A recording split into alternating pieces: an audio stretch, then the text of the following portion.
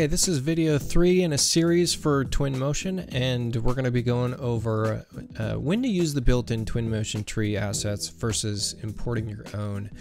Um, and just to note, there's a couple of really strong reasons to use only Twinmotion trees, and uh, the, the best case for this is if you have a view where this this tree we've got in the front yard here, if if I've got a view distance um, of about, oh, let's call it 60, 70 feet away, it's a great time to use only Twinmotion trees, but if I have a view distance of something like this where I'm, I'm 10 feet away, you're going to notice very quickly that the Twinmotion trees just aren't as high detailed as you might want them for your particular shot. Now this is a tree that was imported from the model which was built in Chief Architect and I know already that it's not a good enough model for what I want to be able to use this rendering for. So um, first up, let's just take a look at one of the Twinmotion trees. There's a couple of different ones here, and I feel like it's very clear to me um, what version these came from. As in, I feel like some of these trees were modeled for a previous version and just ported over to the 2020 version. Uh, and the reason I say that is because some of these models are a little bit better than others. Um, and namely, a lot of the ones with roots seem to just be of better quality. Um, and not all of them carry roots that, you know, dive into the ground, such as uh, this sweet birch tree. So let's just grab this tree and place it into my model into the same spot. And we're gonna see right off the bat, you know, it looks pretty good, but it doesn't look great. It's very clear to me that um, how this tree was built. There was some instancing done. Um, kind of like a scatterer method where they just took a branch and they took these um, these other little sub branches and then they applied similar to what we went over in video two where we're talking about how this grass is created and how it's um, how it's physically created how it's a model and then it's instanced over and over again with some collision detection some random scale and random rotation. Same thing happens for these tree leaves.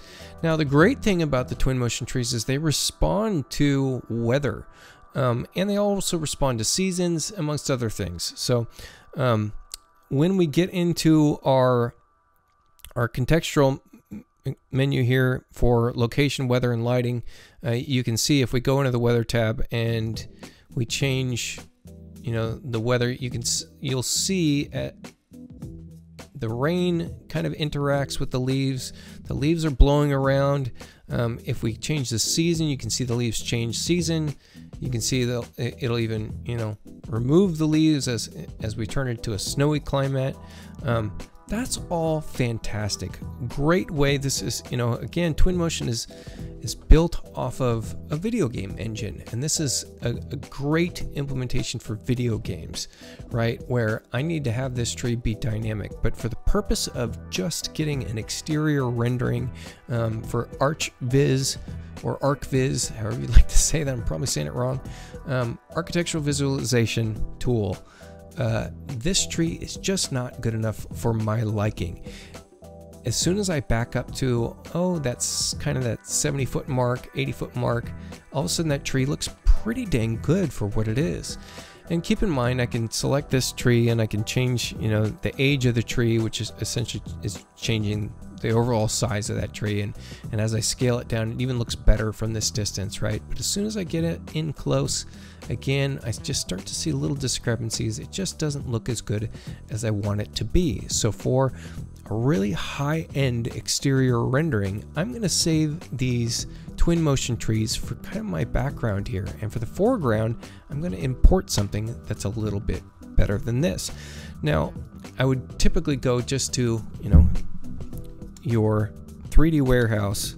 Fantastic place to find trees. You know, go into the 3D warehouse, um, and you know you've got all these SketchUp based models and you're going to search trees and you can set some parameters and namely when I'm looking for trees I'm looking for something with a high level of polygons something I mean if you get above 7k on a tree it's it's pretty certain that you're going to get a high level polygon. Now keep in mind some of these are ported over from something that are just basically a 2D image. So even though that this shows that this is 22K, it's actually a 2D image and it's not a real 3D model tree, whereas this looks like it is. You can see that it's got some soft shadowing in there, some hard shadows, um, and some 4K texture size. And this is kind of just one of those guess and check things. You've got to just download this, keep it in um, a folder hierarchy that makes sense to you, and be able to upload it to Twinmotion. So now back in Twinmotion, I'm going to go to my import and open up, and I'm going to get into where I keep my models. And I've got my trees, plants, and landscaping trees. And let's just grab something like a maple tree.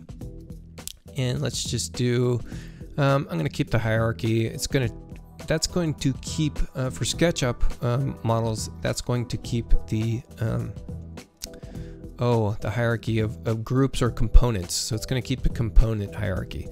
Anyway, so I'm going to press OK. Going to read that data and import it. It's going to import it based on um, the access of that model and how it is in SketchUp. Now, this particular model, I think, if I select on it, in here, let me just bring my my scene graph up and I'm going to go all the way down. It's going to import it to the bottom of the scene graph here and there we go. And I can hit this center node. You know, this will um, drag it on, on this axis versus this axis versus the Z axis and this will just grab it and be able to place it to any geometry oriented to that geometry. There we go. So I've got it placed in the model now Perfect. Now I'm going to scale it down. And so I'm going to go down here and right now by default we're in the rot or we're in the move. I don't even know how they classify this. Um, and so I'm going to go to scale. Again, I've never watched any videos for Twinmotion. I don't know what I'm doing. I'm just figuring it out as I go. So something I've discovered in the first 10 hours that I was playing with Twinmotion is that to be able to scale this uniformly, I need to be able to select the subcomponents here. And at this level, now it gives me this scale box. So I could just uniformly scale this by dragging this. That's fine. I could alternatively punch in a number I'll do it for this. I seem to have a decent amount of control there. Uh, so there we go. So I've got this tree, and when I select this tree, keep in mind, I just selected a component. So something to keep in mind. Uh, alternatively, when I imported this, I could have chosen to collapse all, and then this would be grouped as one item, and I wouldn't have this sub item. And for the purpose of trees, that might have been a good idea. In fact, let's just try it out. Let's delete this guy, and we're going to import again. In fact, we got to delete it from the scene graph right here because we still got that folder hierarchy. So we'll delete it there, file import. Let's get back to that tree and it was a maple tree. There we go. And under options, instead of collapse by material, we're going to go collapse by all. Let's do that fix UV texture. No idea what this does, by the way. I'm sure as I learn this software more, I'll figure that out. I'll start watching some videos. So we've got a material name, use scene material, use imported material, keep both. This is just because we imported it previously and we're gonna use, uh, it doesn't really matter. So there we go. So now that's in there. Here's the maple tree and let's see if that did what I explained. It did. So there we go. I could get rid of this and since we've got, uh, oh, we don't have a front porch area yet, but basically I could get rid of this folder right here and bring the maple tree into the main um, scene graph space. But see, now we can move this and uniformly scale this at one time. So I'm gonna change my mode to move, which I think is, I was trying to find the quick key for this. I think it might be, there it is, the number four key on your PC. And I'll drag it up here to the front yard. You can see when it imported this time, we've got an offset here, which is kind of obnoxious in my opinion. So again, keep in mind how you're importing these things, where they live in uh, your scene space, um, so that you, when you save this to your um, your user folder in Twinmotion, it'll be easier to place. I liked it before when it was placing on the center of this axis. So um, it seems that Twinmotion seems to have picked its own center point um, because before our move node was centered exactly the way it should be. So um, I've got this tree pretty much placed where I want it to be. And now when I hit the scale, here's going to be the first problem is it's going to scale based on that axis. And so it's not going to scale the way I want it to. Yeah, it's going to start dragging it towards that axis as we scale it down. So a um, couple of little annoyances that'd be a tool that I'd want to see in a future version of Twinmotion is some way to reset the axis on a on the model space. So here we go, I'm going to place it right where I want it to be right there. And now that I've got this tree in place, I can go in, let's just select it, and we'll take a look at it on the scene graph. And then I could add this to my library, add this to user library. And I clicked it, and Twinmotion's not responding. And anytime that happens, I get very, very nervous. So I go back, let's just, so you just, you saw that again. I'm going to go back all the way back to library. And here in the bottom right hand corner is my user library. There is my maple tree. Let's make a new folder and we're going to end up hitting rename and let's call this trees. Um, typical of most of my videos, whenever I input something into um, any input I do, I typically do all caps because it's unconventional and therefore it lets me know that that's something that I did. So there we go. I just there's there's no real indication that you're dragging it into this folder, but it did in fact go into this folder. And now I can grab this asset and place it as I please. Isn't that nice? Now it's in my user folder. So it's a great idea as you build these scenes out to save the assets that seem to work really well for you. So there we go. We've got a more of a high poly count tree and already we get the, you know, the idea that this could start looking really good. so um, let's go on, let's carry on and let's get back into some of the tools that are available in SketchUp. I'm going to delete these back trees and we're going to drop some of, not SketchUp, excuse me, Twinmotion. I'm going to delete some of these trees and and we'll use some of Twinmotion's trees. So back in our contextual menu, um, let's just do vegetation paint and let's grab a couple of these trees and drag them into our model space here, our paint tool. And that way I can select multiple of these and use the paint tool. And this time around, let's drag this up a little bit and look at that. It's painting a random assortment of those trees.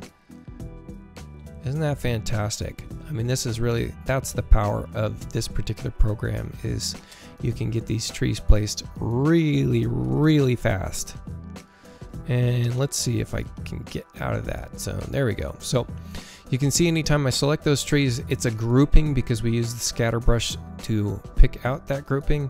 If I remove one of these from this section, it's going to remove there we go. Look at that. I deleted that and it disappeared. Now, I already painted that particular part of, of this terrain model. So if I grab this willow tree and drag it in here, look, it's just going to produce those trees in there.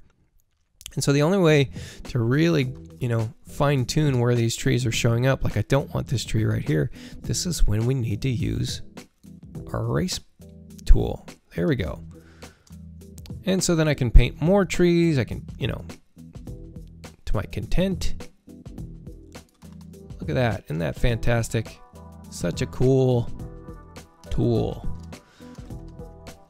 Makes things go way faster. And I and so that's an instancing tool. I wish it worked for more than just the trees. That would make a huge difference.